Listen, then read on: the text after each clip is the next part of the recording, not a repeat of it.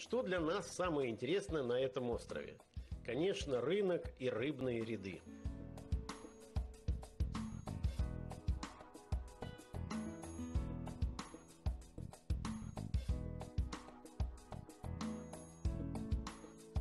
Вот туша парусника.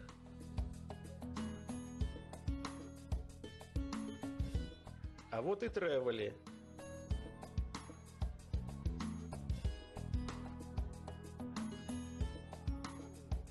Это тушка желтоперого тунца.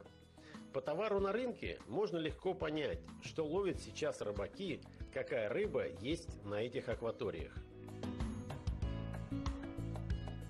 Мясо тунца пользуется спросом не только у туристов, но и у местных жителей. Во всех кафе и ресторанах вам приготовят запеченные на углях филе тунца.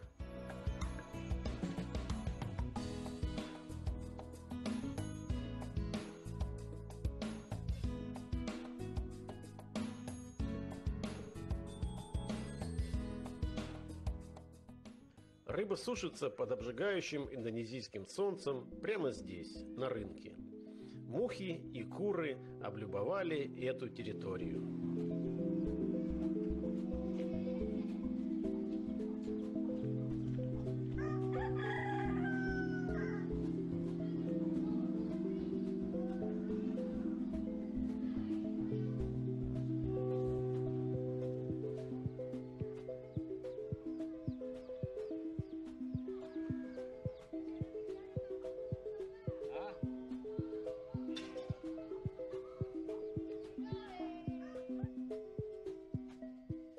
Рядом с нашей гостиницей находился цех по обработке рыбы для отправки на материк.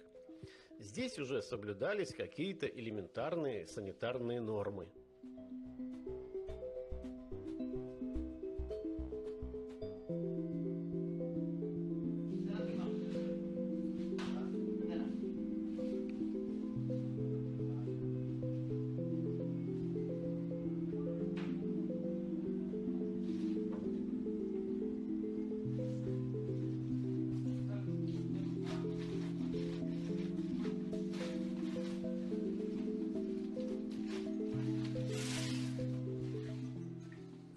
Константин начал договариваться с рыбаками о выходе в море на охоту.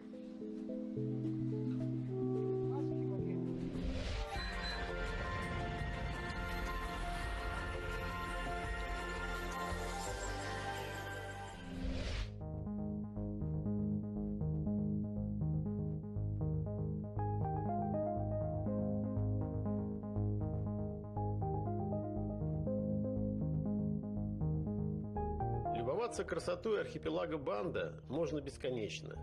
Скоро подойдет рыбацкая лодка, и мы отправимся на охоту.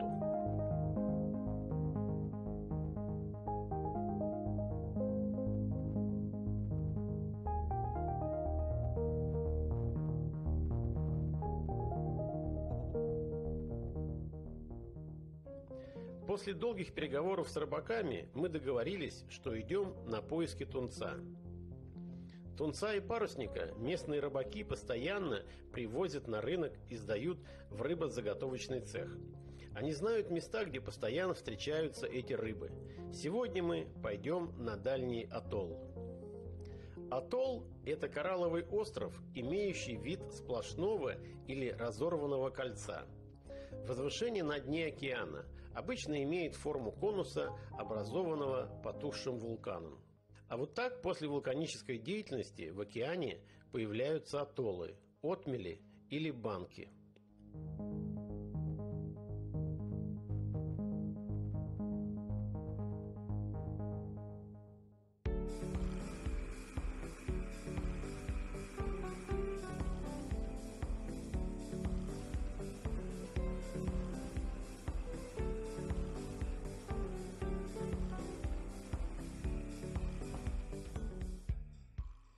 Для поиска рыбы Константин устанавливает эхолот на дно лодки.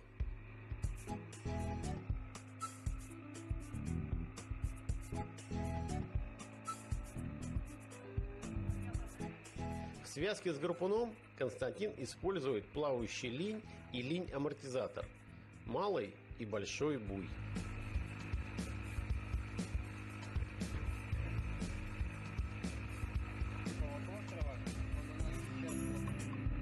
Мобильное приложение на телефоне – очень удобная штука.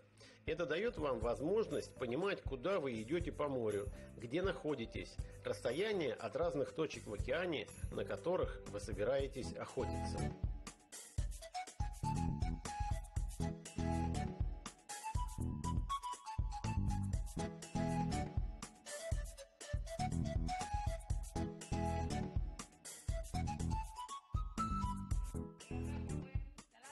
Готовимся, как говорят подводные охотники, жабры промочить.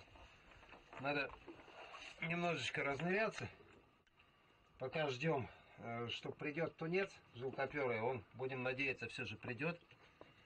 Вот, нам можно немножечко разныряться. Мы находимся прямо над, над атоллом. Ну и я первый раз за последние там выходы возьму свое ружье 170 одно из лучших на мой взгляд ружей которые сделаны вот для такой рифовой не, не для рифа а для охоты на пелагику. Линь вот этот вот э, в качестве линя используется трос два с половиной миллиметра нержавейка к которому крепится гарпун. Ну и дальше вся система пошла вот э, на два буя Лодку мы сегодня не стали брать, потому что охота э, такая вот на тунца, она требует переходов из одного места в другое. Ну и, соответственно, нам придется достаточно часто забирать все на, на лодку, опять заныривать. Ну и, в общем, для такой вот охоты drop-off, э, когда мы охотимся в, в синьке, наверное, нет э, см смысла таскать э, с собой э, каяк. Вот. Каяк больше пригоден для тех мест, где, ну, э, где есть рифы, э, для того, чтобы обойти какой-то угол, для того, чтобы пройти э, какие-то небольшие расто расстояния, чтобы выбрать себе наиболее интересное место охоты. А когда ты охотишься в синьке, то тут, в общем-то, надо нырять туда, где есть рыба, и стрелять ее. Для приманивания тунца Константин взял с собой пакет с мелкой рыбешкой. Приманивать рыбу можно прямо в процессе охоты. Очень хотелось бы, чтобы на приманку подошел тунец, а не акулы.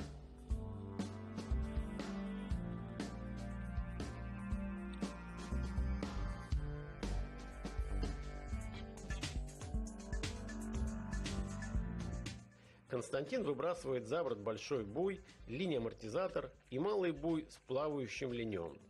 Вся эта связка пристегивается к гарпуну ружья, и крупная рыба после выстрела уносит с собой гарпун и всю эту связку из буйков и линей.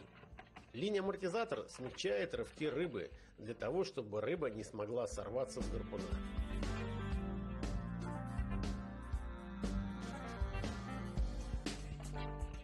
Константин отправился на поиски тунца, а мы с вами посмотрим, как работает вся эта длинная связка линей и буйков после попадания гарпуна в крупную рыбу.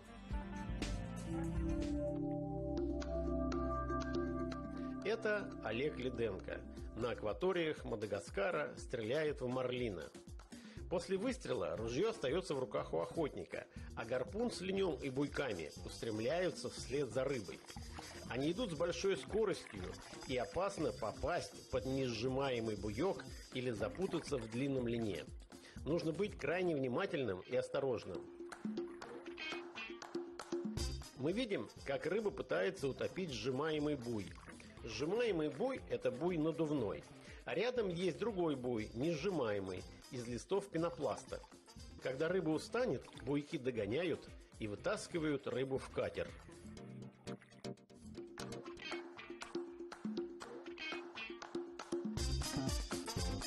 После того, как охотник догнал буйки, он пытается поднять рыбу на поверхность. Если это не получается, и рыба продолжает сопротивляться, и можно вырвать из нее слептип, лучше не тянуть ее наверх, а взять ружье у товарища и сделать второй выстрел, чтобы потом поднять рыбу на поверхность уже на двух линях от первого и второго ружья.